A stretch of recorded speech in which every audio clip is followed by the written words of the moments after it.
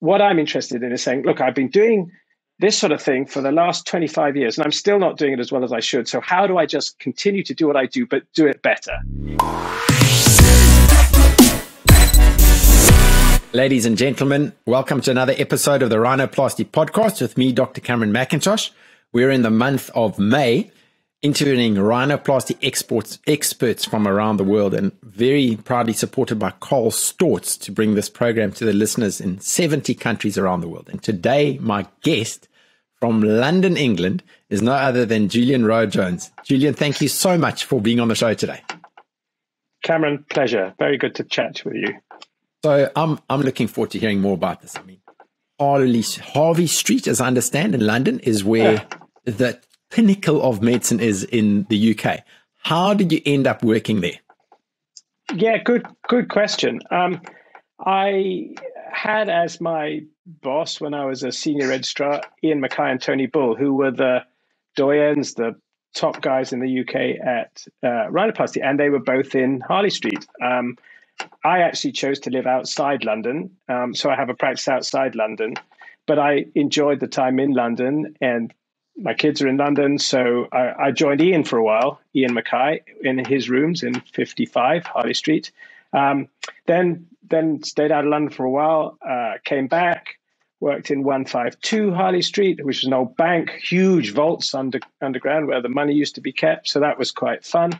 And in fact, now, interesting, after COVID, um, I do more consultations online, certainly as a first step. Um, and actually, that works really well. Patients don't have to invest as much in terms of their time, emotionally, and so on, but it's a chance to get to find things out. So I do less consulting in London, but I have moved some of my surgery to London. And uh, it's in a hospital called Cadogan Clinic near Sloane Square, fantastic part of London. Um, enjoy time out, meals afterwards with friends. Again, another chance to put myself with the with my kids so they uh, they take me out for a beer. So so it's just a great combination, you know, of of work and play. Really really great. So I have to tell you this story because I don't think you're actually quite aware of the influence that you've had on my career. One of your fellows many years ago was a South African, Carl van Wyk. And um, Carl, yes, yes, yeah. yes, and Carl actually was one of my mentors, and he ended up encouraging me to actually finish ENT surgery and go and write the board exams in facial plastic surgery. He was also one of the founding members of our executive on the on SORSSA, our rhinoplasty society. So, and through that, we've been able to have all the webinars and run this podcast. So, I have to give a shout out to you that you might not have realized the effect you had on Carl, which had on us and now is around the world. Well, that's very kind of you to say so. Uh, it was great. Carl was one of the most diligent guys. And if you said, look, I think we should, well, he'd say to me, I think we should write this up. And I said, great, do it. And he would do it. So, and then, you know, blood is strong and the pull of South Africa was strong and he went back and I, and I, we, we email every now and again, but that's great. You know, to feel that I enthused him and he enthused you is a really, really great thing. And you're doing all this now, Cameron. So that's very impressive. Yeah. And also, there's another interesting story is the, the chapter that the two of you wrote in Anthony Sclafani's book on rhinoplasty, I ended up buying the book and kind of randomly looking up somebody, and it was Fazil Apaydin. And I invited oh, yes. myself to, to go and visit Fazil in Turkey. And as I was about to fly out, he just said to me, Listen, are you sure you've got the right address for where you booked to see me? And I was going to go to Istanbul and not down to Izmir. So he was also yeah. hugely influential. It was a great book. I really recommend that book to anyone who, who wants to make a career out of rhinoplasty. Tony's a, Tony's an academic guy, and again, you know, huge diligence and application to um, bringing some mental discipline to to to, it. Um, so yeah, yeah. It, uh, one of the interesting things about rhinoplasty is you you know there's such a range of people who are, if you like, um, oh, enticed um, into into it because there's there's the creativity, there's the craft, which I think really interests me, um, and that's part of why I think it would be interesting for us to talk about performance. Um, but then there are others who like to measure, like to take a much more left brain approach to things.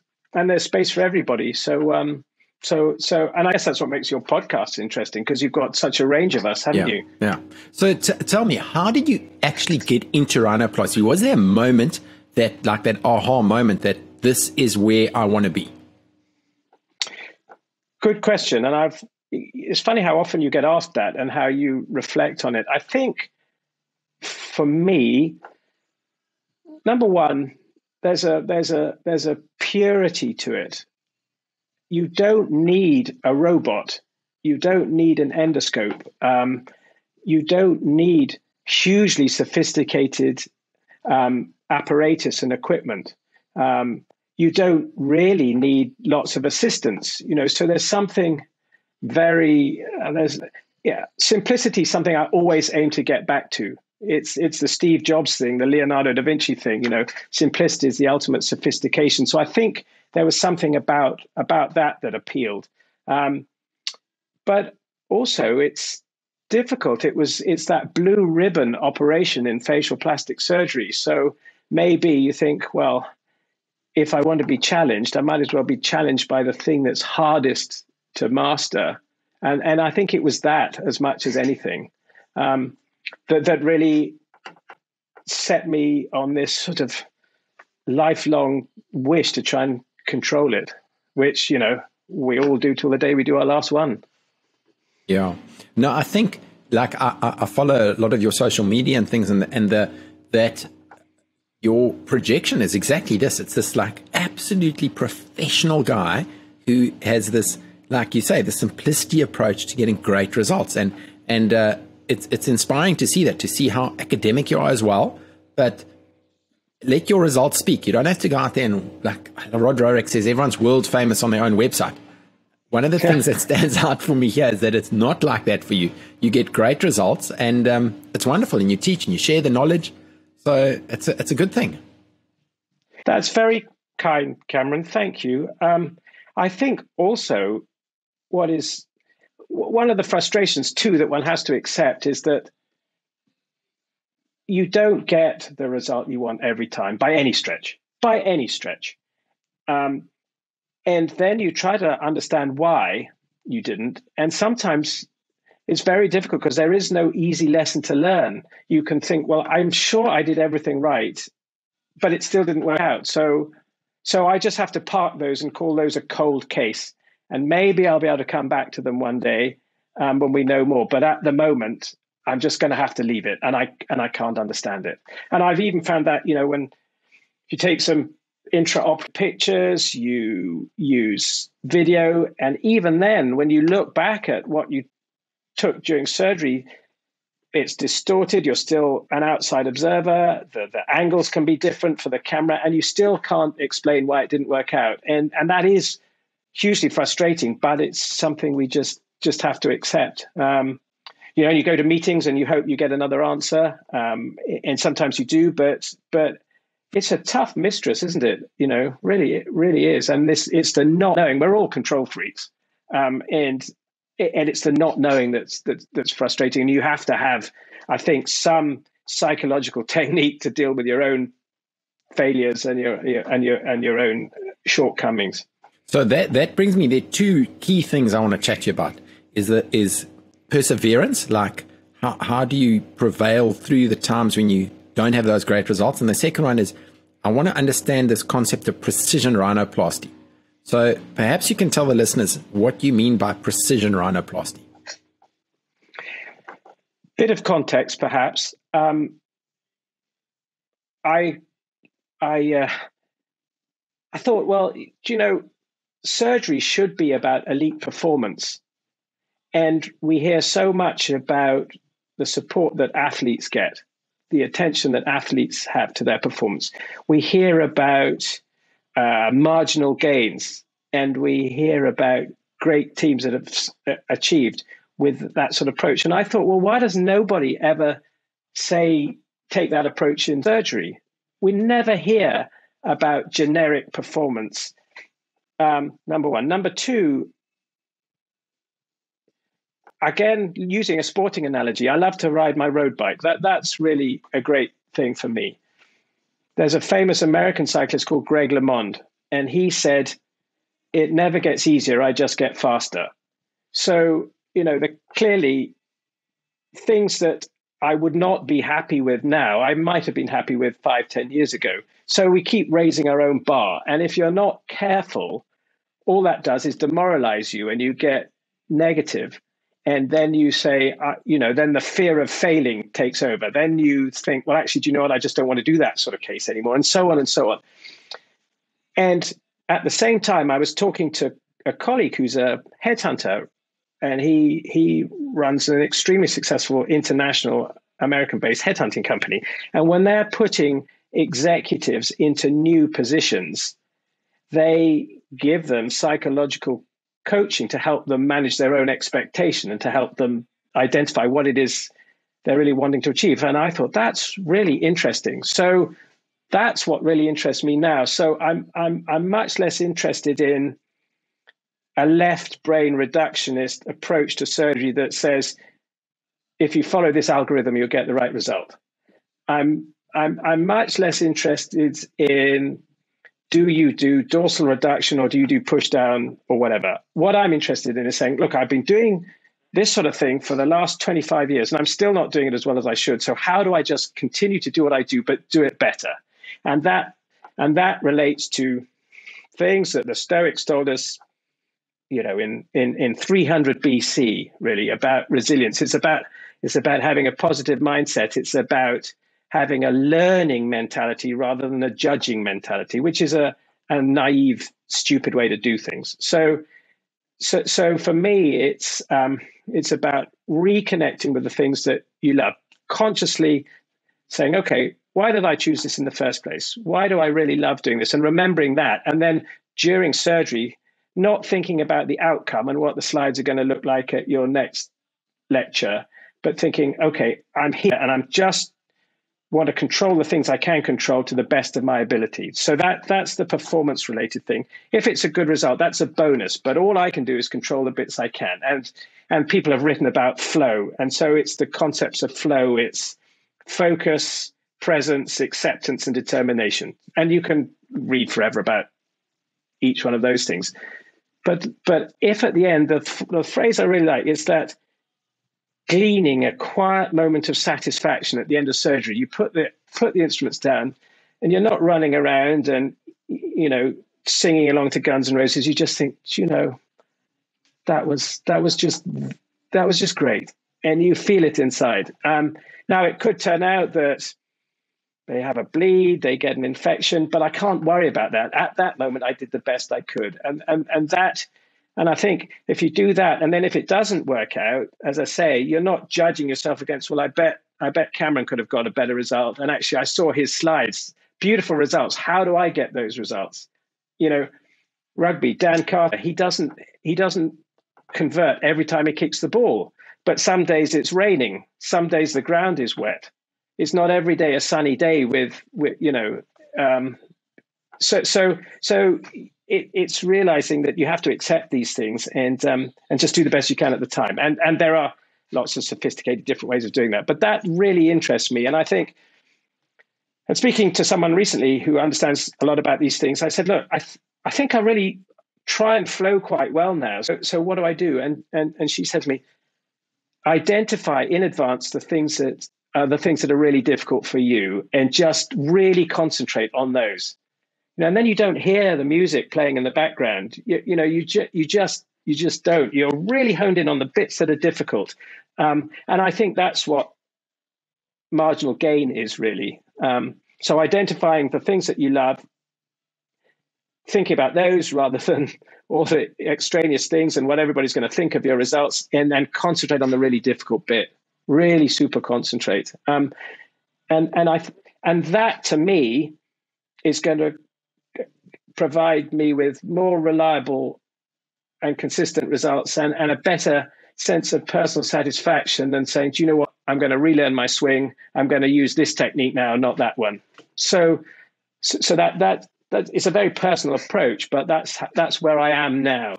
Wow! No, thank you for sharing that. That's it gives me so much to think about. I, I think back one of the key moments in my Olympic paddling was uh, uh, possibly one of the nicest quotes is by Sir Steve Redgrave. So um, you obviously know him, but for the listeners who don't, he's one of the most successful Olympians ever. For five Olympics in a row, he won the gold medal. And he got interviewed and he said there are two kinds of athletes who go to the Olympics. Now, I'm saying there are two kinds of rhinoplasty surgeons who do rhinoplasty because to get there, it's difficult, you know, to qualify for the Olympics. And he says there are two types of athletes who go to the Olympics athletes who go to win the gold medal and tourists. and I thought great. And I think this is it. This is there's that special like thing about how can I improve my performance. I'm not interested in the audience. I'm interested in sitting in this moment, this kind of hallowed moment of, of two hours or three hours in a person's life where I want to improve something that I've worked that hard for to get there, get to. That's fascinating, eh? Well, with your history of Olympic sport, you really know what I'm talking about. And it does amaze me that that's never been transferred to the surgical arena. It's a very strange thing.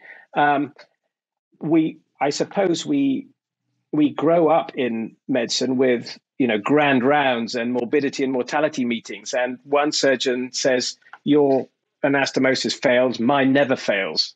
You know, therefore it must be your fault. Well, that's just that's just ridiculous. I've been at an I've been at a rhinoplasty meeting, and the and the the session was entitled um, "Cases that have challenged me," and one very eminent rhinoplasty surgeon stood up and said, "Nothing ever challenges me," and I thought. Well, make of that what you will, but I, I didn't think that showed a great deal of insight or humility. So, um, so, so, so, you know, some interesting mindsets in all of these things. But um, you know, you, you you you can only control what you can control, and and um, and then. You know, it, it, but you've got to choose to engage in the first place, haven't you? Again, you know, mixing sport and, and surgical metaphors. But there's a guy called Paul Fournel who writes about cycling, and he was writing about cycling up Mont Ventoux, and he said, if you don't want to find out, if you want to find out about yourself, cycle to the top. If you just don't want to know, just don't start. So, so, so you, you you've got to engage rather than just be a, a sort of passive entrant into these things. Um, and I'm all for people who innovate. I think it's fantastic.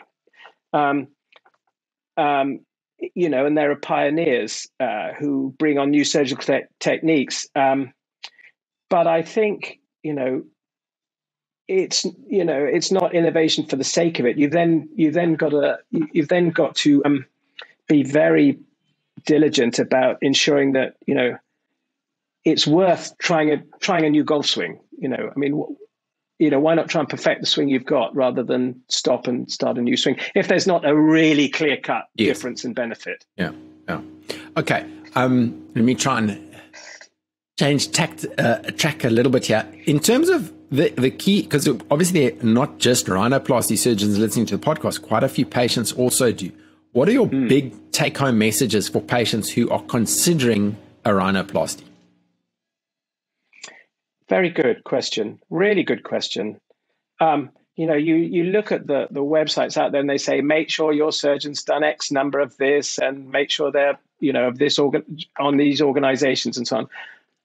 Um, I guess that's better than nothing, but I think patients, patients, it's hard, but I, I think a patient needs to sit down and really work out. Number one, as much as language allows, for them to put into words what they're trying to achieve physically, cosmetically. You know, because I, th- I understand it, but if a patient says, "Look, you choose," or "You tell me what looks right," that that's not a good thing. A patient's got to understand what it is they don't like. And they've got to be able to articulate it so that we can understand. Now, image manipulation is very helpful as a tool, but but they've had to work out in their own mind what it is they don't like and want to achieve. I think they've then got to be confident that we're on the same page as they are. So that means intelligent listening on our part, not just, yeah, sure, in you come. Um, we really have to listen. And there are times when I'll advise patients against surgery, not because I don't think I can make the nose look better, but because I don't think I can make it look better in the way they want it to look better. so I think I think it's so important we've heard what they say, and that requires skill and performance uh, values, if you like. Um, and then I think you know, is the surgeon honest? Uh, are they transparent? Have they told you about risk? Have they said that past performance is not a guarantee of their result? Um, so, so I think I, I, I think feeding that there's a good relationship and good communication is is vitally important. Um, I don't think numbers is necessarily such an important game. Um, yes, because well, coming back to it, you know, if, if we again talk about sporting analogies, a lot is made of purposeful practice. So you do your 10,000 hours and then you do purposeful practice so that you recognize what it is that needs to be worked on and you just keep pushing and pushing. So it's just beyond reach. And then you get there and then the next one. The trouble with rhinoplasty is that it's what it's what the psychologists call a, a wicked environment rather than a kind environment. So that you know it's not like swinging a golf club that there is a way to do it. And if you could only just do it that one way you'd always hit the ball straight down the middle 250 yards 300 yards. There are so many variables in rhinoplasty that just thinking i can do another and another and another and get the numbers up is not the same as that purposeful practice thing. Um, so, so, so, you know, a lot of people say, well, how many have you done and do you do this? I'm not sure that's necessarily so helpful. Um, it's difficult though, isn't it? Because because these are these aren't black and white things. People like certainty and people like black and white, and they say to me, "How confident are you that it's going to turn out like this?" Now, if you if you're an honest guy, you say, "I'm confident that I know how to do it, and I'm confident that it's the right approach for you." But I can't tell you that it's definitely going to work out like that because I can't control everything. So it's they, they want your confidence, but if you're honest, you know, you're going to say, I cannot guarantee it. And that's a tough one for a patient. And they may have well seen someone else who says, Yeah, no problem, I can definitely get that for you. And then how do they choose? It's really difficult. No, but Laura, but I guess in the end, you just have to be yourself. And, and then the patient, you're either a good fit for that patient or you're not, really. Yeah. So, one of the things I think in London, surely it's like a melting pot of cultures. You must see the entire spectrum of different ethnicities come across into your room. I mean, that that that just purely forget about everything. Just the skill of rhinoplasty and the difference between an Asian, maybe a Caucasian, and Metis, an African. There's a whole lot of different noses. Do you do the whole rainbow of people who come in? I I would say that um, the Oriental Asian population is not currently that big in the UK. So if I see a patient who's Korean, Japanese, Chinese, um, generally speaking, unless it's a small specific change they want, I would usually say, do you know, um, I'm not the right guy for you. Um, and uh, and so I would say that. Um, I don't have a big um, experience in in the black patient population. Um, but again, one has to be really careful because Africa is a huge country with a huge, a huge, you know, you can't say this is what you do. For, again, it's that reductionist left brain thing. You can't say this is the right technique for an African rhinoplasty because because it's just naive. Um, I think it's very difficult for patients because, you know, there might be somebody who looks at Beyonce and thinks, well, Beyonce's got a small nose and that's and she's a black girl. Therefore, why can't you give me that nose? And so you have to be careful and explain it's not, you know, that that's an oversimplification. But I think one way or another in the UK, we certainly have a, uh, you know, I have a big part of my practice is Indian subcontinent rhinoplasty patients.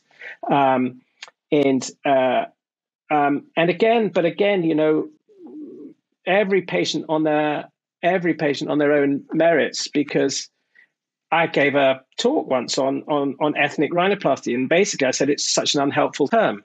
Uh, there are six thousand ethnic groups or, or so in in India, and you know a northern Indian patient may have a completely different set of um, anatomical features than a southern Indian patient. So again, it's understanding what that patient wants and working out what's possible for them. So again, I, I, I don't think it's that I don't think it's that helpful really. You know, we can point out certain things to a patient. You've got thick skin, or if you're Northern European and you're you're you're fair hair, red-headed, pale-skinned girl from Ireland, you've got very thin skin, and so there are pros and cons. But again, I don't think I don't think ethnic groups are particularly helpful, really. Um, but yes, it you know there's there's a vast array of different noses that we have to help with. Yeah. Okay. Another question. Advice for the beginners listening to the podcast. Just a sentence, even that. I'm pausing, aren't I? Because it's difficult just to give give give a sentence. Um, I think before you even start, recognize that getting con- getting good results and getting consistently good results is really difficult. So if you're not prepared for well certainly this is my experience but if you're not prepared for for having to really think hard for if you're not prepared for setbacks it's it, it's not the right thing for you to do. It is millimeter surgery because you know it might look millimeter right in two particular planes of view but if it's a millimeter right in the third plane of view and you didn't see it on the table because you don't always it's going to show up afterwards. Um, i think also be prepared that um, that that that patients quite nice that you're operating on patients faces and and there's a there's a you know a, a significant psychological responsibility to take on there. Because if if it doesn't work out you know you can you can really you can really you know you can really make, upset someone who's vulnerable and and that's difficult as well. It's why i work it's why i arrange for every patient every patient i see to see a clinical psychologist. And it's not just any clinical psychologist. It's it's it's a it's clinical psychologist i work with and talk with every day. Um, it, in the uk the general medical council and the college of surgeons and the british association of uh, BAAPS the british association of aesthetic plastic surgeons says that every patient who's considering aesthetic surgery, not just rhinoplasty, should have a psychological assessment. Well, I think, okay, if that's the case, then they should have the best psychological assessment. And whilst I have obviously an understanding of psychological assessment and, and antennae that are sensitized after 20, 30 years of, of doing this, the patient should see the best. And that's why I arrange for them to have that psychological assessment performed by a clinical psychologist. And then we talk together um, that is, afterwards. That and is I, so interesting. So, okay, so if a patient's now making the appointment or currently through COVID, it's a Zoom appointment, is one yeah. of the insistence you have to go and see this person because yeah that's to me it's it's almost a little bit of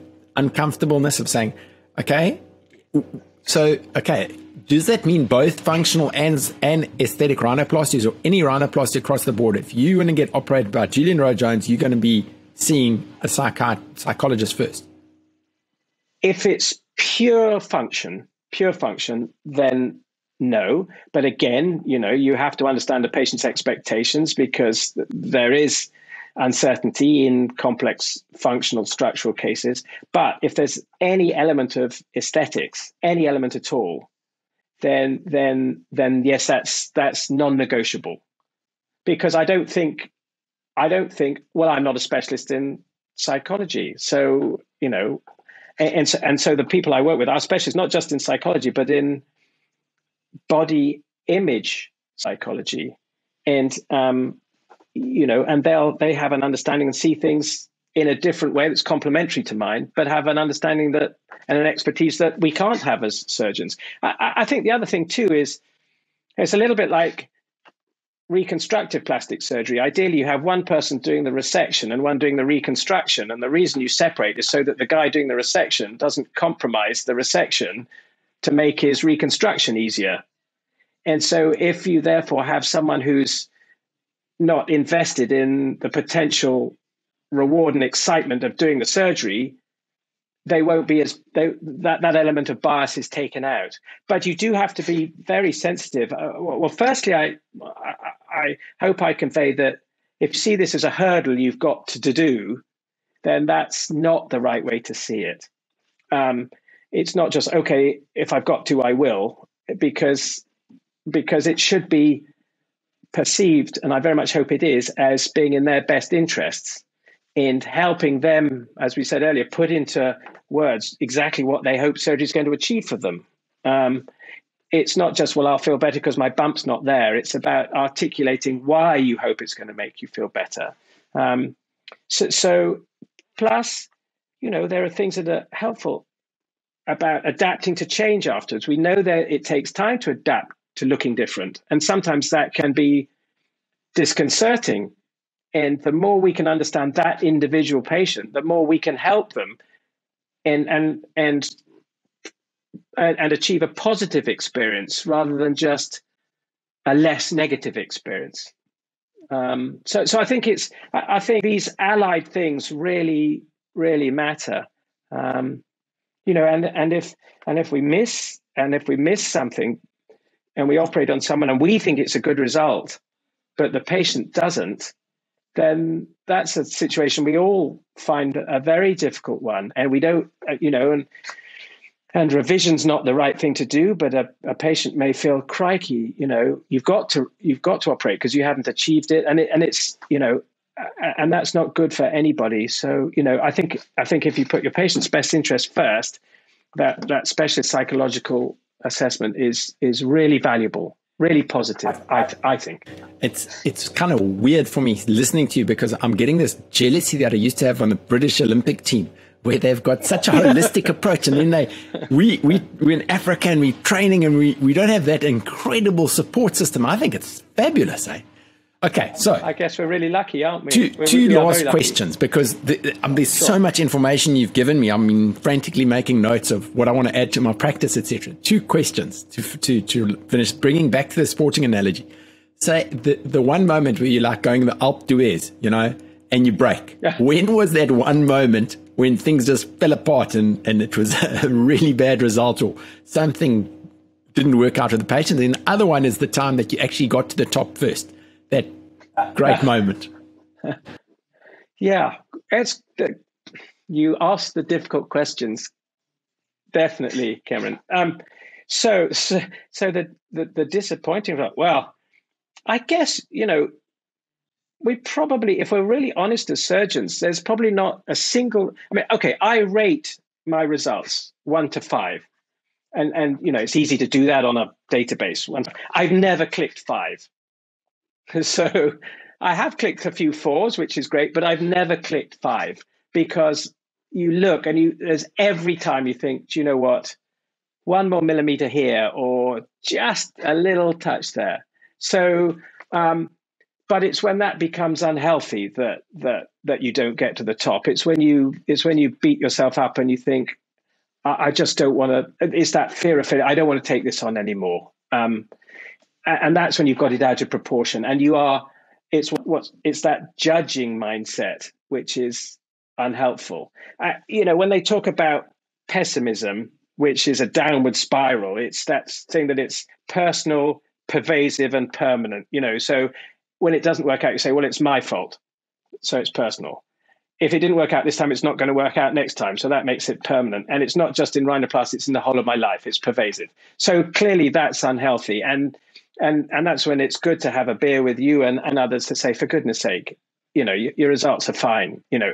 So so i guess it was just cumulative rather than one horrible incident.